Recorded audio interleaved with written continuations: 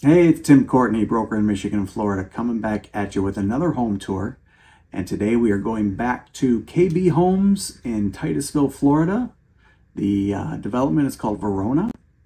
This house here is 1989 square feet. It's model 1989. In fact, it's four bedrooms, two baths, two car garage, vaulted ceilings, very open floor plan. I mean, it's fantastic. Again, what I love about this community are the amenities uh, because you get affordable homes in the mid to upper threes, but you get the clubhouse and the pool and the workout area.